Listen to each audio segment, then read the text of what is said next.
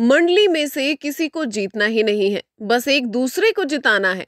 टीना और प्रियंका का कुछ ऐसा ही बयान सामने आया है दोस्तों। चलिए बात करते हैं, स्वागत है आप सभी का बॉलीवुड स्पाई में। मैं हूँ अदिति शर्मा। तो दोस्तों, देखा जाए तो मंडली अभी भी फॉर्म में नहीं है और उनका गेम के लिए उनका मतलब उनका एक्टिव होना सिर्फ़ प्रियंका से भिड़ना होता है। जिसके लिए वो सारे के सारे एकजुट होकर आ जाते हैं और प्रियंका पर चिल्लाना शुरू करते हैं। जब बात नहीं बनती है, जब उन्हें लगता है उनके पास अब पॉइंट्स खत्म हो रहे हैं तो वो अंकित को बीच में घसीट लेते हैं।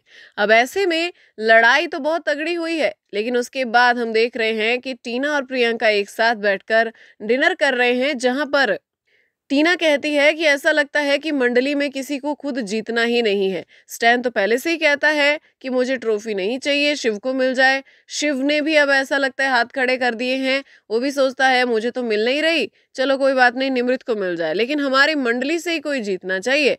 तो यहाँ पे हम लोग ऐसे नहीं है ना, हम लोग इंडिविजुअल गेम खेल रहे हैं। हमें अपने लिए भी आवाज़ उठानी है। हमें ट्रॉफी दूसरे को नहीं देनी, हमें खुद के लिए जीतनी है। जिस पर प्रियंका ने कहा कि हाँ एग्री करती हूँ मैं इस बात पर। और मैंने कुछ दिन पहले कहा भी था कि ऐसा लगता है कि शिव ने अब ट्रॉफी की तरफ़ से जो है किनारा कर लिया है, शिव ने हाथ खड़े कर दिए हैं कि ट्रॉफी मुझे नहीं मिलने वाली। और अब वो यही कोशिश कर रहा है कि जो भी हो अच्छा वो मेरी मंडली के लिए ही हो। आप सभी को क्या है दोस्तों इस पर कहना? कमेंट्स में ज़रूर बताइए। मिलते हैं नेक्स्ट वीडियो में।